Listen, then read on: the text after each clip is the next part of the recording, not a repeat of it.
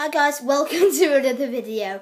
Today in this video, I would like everybody and all my subscribers to leave suggestions on this video in the comments down below. Go away in the comments down below.